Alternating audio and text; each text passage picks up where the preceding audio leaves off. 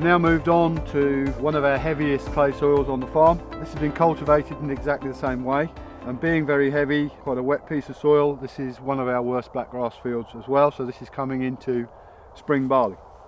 So we've cultivated this field in the same way. The area where I'm operating at the moment um, has been cultivated twice with the surface cultivator. So we've just cultivated the surface of the soil here, incorporated the organic matter, crop residue just into the surface. We haven't disrupted any of the wormholes in the bottom and there's worms working through the soil as we speak. There's one just there.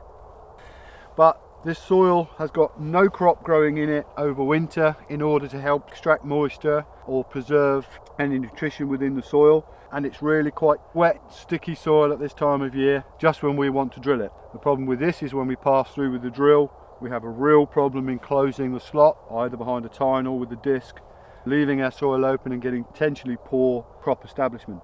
Directly behind me, we have exactly the same field, exactly the same cultivation regime, but we've established a conditioning crop. And in there, we've used oats.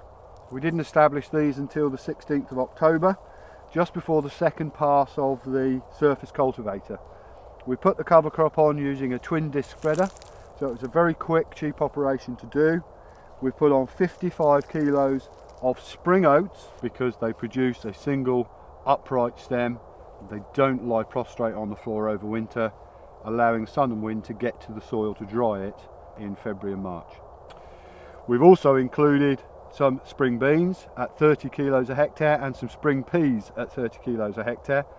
Again, we're utilising spring types because we want them to grow directly upright and we're using a mix of species in the soil so that we're getting a mix of root type within the soil. So we're using our oats to stabilise the soil surface and we're using our peas and our beans to root deeper into the soil, produce much more lateral rooting, open the soil up a bit and of course feed the soil with nitrogen through the nodulation occurring on the legume roots down here. And those nodules are nice and pink and they are producing nitrogen at this point.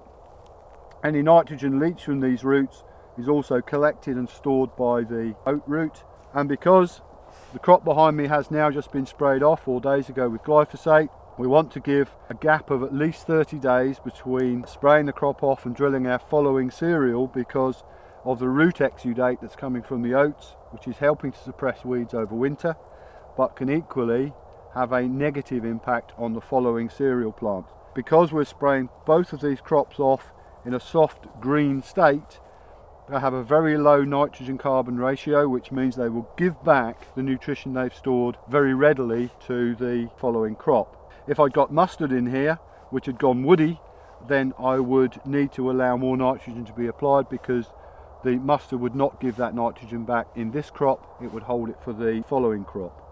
What we can see has happened by the use of the cover crop though is that we've got a very very friable soil surface.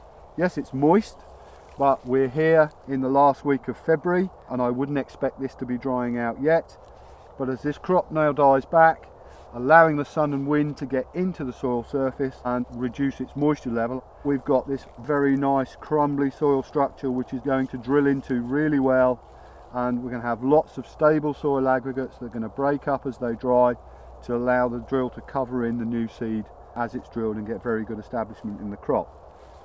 What you can see is a very clear difference between soil colour. This is very much lighter compared to much darker soil here. It's exactly the same soil and this is only over winter. This is the difference between a cover crop over winter and no cover crop over winter and how fundamentally the soil changes in that short period of time.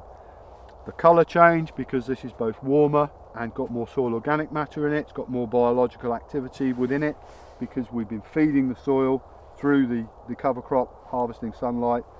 But the soil at depth is also so much drier and able to carry the next pass of machinery across this field much, much sooner without damage compared to the wet clay within the uncovered cropped area. It's a real fundamental difference.